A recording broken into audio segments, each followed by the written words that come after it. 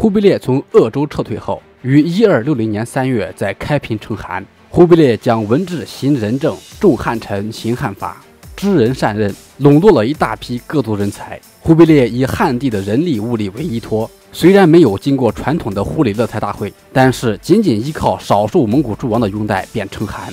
自从蒙哥汗攻宋结束之后，巴蜀各地残破不堪。一二六零年，四川知事蒲泽之卸任。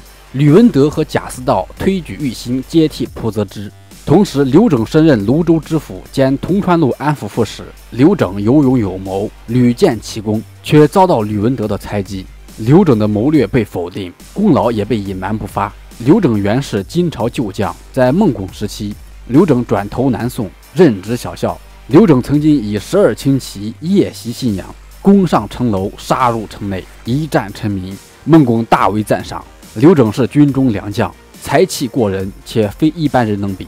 但是因为叛金入宋的降将身份，长期遭到众人的排挤和鄙弃。尽管如此，刘整凭借战功步步高升。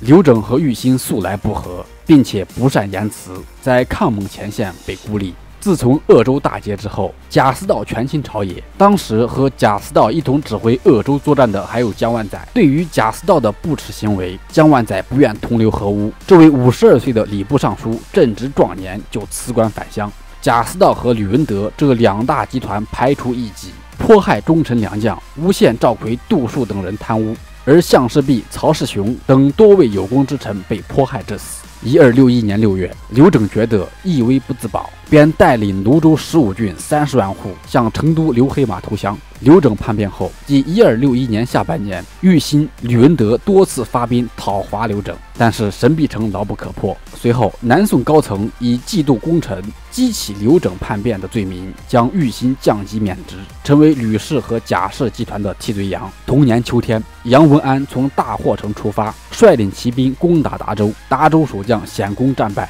同时，攒万寿统领两百艘战船逆夹陵江而上，反攻青居城，但是被汪良臣击败，差点被俘。蒙古通常都是将高级将领的儿子留在京师作为人质。一二六二年正月，蒙古江淮大都李坦的儿子从燕京逃回山东。随后，在一二六二年二月三日，李坦率领五万多兵力在涟水投送反蒙。为了配合李坦，宋军立即渡过淮河，向新蔡滕州发起进攻。五天后，李坦的大军进入益州。二月十七日，忽必烈命令亲王哈必赤讨伐李坦。二月二十三日，李坦率领数万大军攻打济南。二月二十六日，攻占济南城。而此时，南宋的大军火速穿插北上，于二月二十七日抵达滕州。蒙军抽调中原各处军队前往济南围杀李坦。李坦在济南吸引了大批蒙古主力的注意力，并遭到重重围攻。三月二十日，阿术等将领。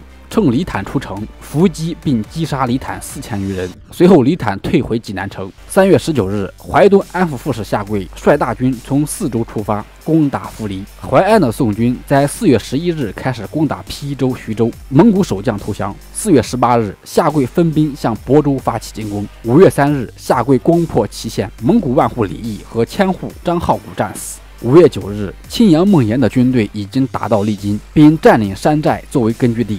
蒙古大帅按托从五月开始反攻徐州、邳州，这两处的宋军向南撤退。青阳孟延率领部队继续北上，从六月一日开始攻打沧州。六月四日，青阳孟延遭到蒙军截击，便停止前进。南宋派发五万两白银犒赏山东各军，同时命令青阳孟延返回驰援济南。青阳孟延惧怕蒙军，他直接率领部队从东部绕道返回南宋。李坦被围困数月，迟迟不见南宋援军抵达。一二六二年六月。济南城已经接近崩溃。七月，城中大量的守军开始向蒙军投降。李坦无法控制局面，他投大明湖自杀。由于湖水太浅，自杀未遂，被蒙军抓住杀死。李坦的五万大军让中原蒙军损失惨重。李坦死后，亳州万户张宏略向下跪发起反攻。张宏略水陆并进，抵达郭河河口，下跪被迫退守祁县。随后，蒙军攻打祁县，放火焚烧城池。下跪坚守城池一个多月，最终弃城向南撤退。至此，南宋向北攻占的领土全部被蒙军夺回。在一二六二年正月，蒙军撤离神臂城，宋军收复泸州。在随后的几年里，巴蜀地区蒙宋双方摩擦不断，展开拉锯战，双方互有胜负。一二六四年，忽必烈击败阿里不哥，稳定了蒙古局势。一二六五年，德罕城投降。同年，下跪担任四川安抚使，并发兵攻打通川。下跪一举击败刘整，蒙军数千将士被杀，刘整负伤逃走。一二六六年，下跪统兵三万，战船五百艘，沿着沱江逆流而上，再次发起进攻。宋军占领了云顶城。随后，刘整率蒙军反击，宋军大败，下跪的两员将领和三千士兵战死。落水淹死无数。一二六七年，刘整向忽必烈献计，攻宋先攻襄阳，忽必烈非常认可。一二六七年八月，蒙古的征南都元帅阿术的五万大军抵达襄阳附近，随后南下深入金湖地区，掳掠了五万平民，牛马五千余只，部队浩浩荡荡向北返回。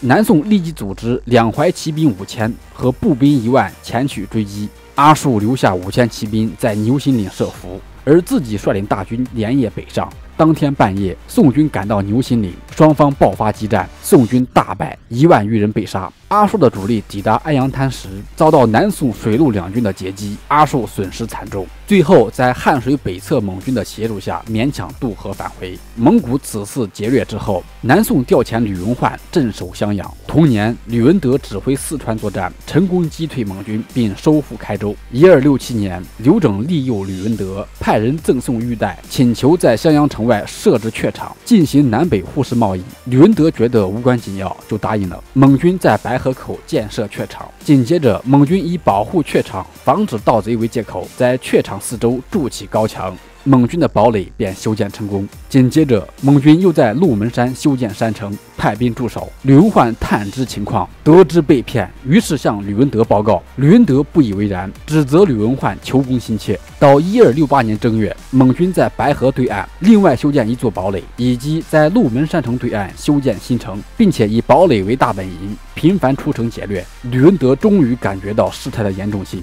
于是下令加强各地防御，并且命令吕文焕不断。派出部队袭击蒙军，干扰蒙军筑城，但是效果并不明显。一二六八年九月，刘整率领五万骑兵攻略汉水沿岸的南宋州郡，各地州郡紧闭城门，避开蒙军锋芒。蒙军以城堡为依托，在金乡地区来去自如。一二六九年年初，蒙军开始在万山修建万山堡。并且在万山、虎头山、县山、榆关之间修建一字城，在南部从万山到摩旗山、楚山、百丈山新城之间也修建高墙，在樊城北部牛首和白河口之间修建了一条围墙，汉水东岸白河口到鹿门山城之间也修建围墙，企图将襄樊死死围住，情况非常危急。吕文德请求朝廷增援。一二六九年春天，汉水上涨，河面变宽，夏贵从黄州出发。率领青州部队满载大量粮草辎重，沿着汉水逆流而上，抵达襄阳城下。下跪抵达之后，与吕文焕交遇而还。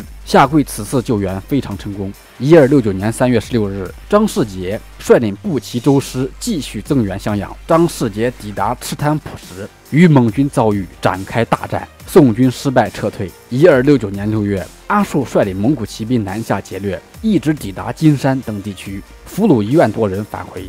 一二六九年七月，大雨不停，汉水泛滥。夏贵趁机率领战船三千余艘，军队五万余人，再次沿着汉水而上，救援襄阳。此时，阿术在信野养病，鹿门山由汉族万户赵壁指挥，两军僵持七天也不分胜负。阿术从信野赶回鹿门山，亲自指挥战斗。夏贵的军队在龙尾洲被击败，损失数千人，被迫返回。当月，范文虎率军再次驰援襄樊。在灌子滩被蒙军击败。经过这几次失败的救援，吕文德金湖安抚制置司所属的七万精兵损失惨重，溃不成军。一二六九年十二月一日，吕文德病逝，李廷芝接管金湖。蒙古一直对襄樊围而不攻，吕文焕无论从哪个方向突围，均以失败告终。虽然南宋屡战屡败。但是南宋水军依然能够突破蒙军的封锁，与襄樊取得联系。一二七零年三月，刘整建议训练水师，忽必烈同意了这个计划。一二七一年，忽必烈取易经大哉干元，建国号为大元，定都大都，元王朝正式登上历史的舞台。一二七二年三月，元军开始强攻襄樊外郭，攻占了古城堡，宋军两千守军全部战死。此时襄阳城内的柴盐布匹开始紧缺。一二七二年五月，李廷芝将全部军队调往颍州、均州驻守。由于李廷芝无法调动范文虎，李廷芝手上的兵力不足，他招募了湘颍西山三千壮士，让民兵领袖张顺、张贵作为统领。一二七二年五月二十四日。汉江水涨，张顺、张贵率领这三千部队从均州出发，满载物资顺江而下，驰援襄樊。援军的水军在江面上阻击宋军，张顺、张贵不计生死，身先士卒。张顺身中三枪六箭，不幸战死。三千壮士突破援军的重重围堵，于五月二十五日早上抵达襄阳城下。这次送入的物资是襄樊被围困数年来送进来最多的一次。最重要的是，这支民兵队伍进入襄樊之后，为襄樊守军加入了新的作战力量。襄樊守城军民受到极大的鼓舞。几个月后，即一二七二年九月九日晚上，张贵按照约定从襄阳发兵，沿汉江而下，准备与颍州守军会合。夏贵率领水军从颍州发兵，逼近援军水寨，准备随时接应张贵。由于天气不好，夏贵的水军遇到大风浪，便命令大军后退三十里。张贵的军队快要抵达龙尾洲时，没有看到下跪的援军，反而遭到援军猛烈阻击。张贵损失惨重，便率领军队逆流返回。阿术、刘整、阿里海牙等蒙古将领率军追击，一直追到鬼门关，俘虏了张贵。宋军两千余人的部队全军覆没，张贵被俘后拒绝投降。阿术将他杀掉，并将尸体送到襄阳城下。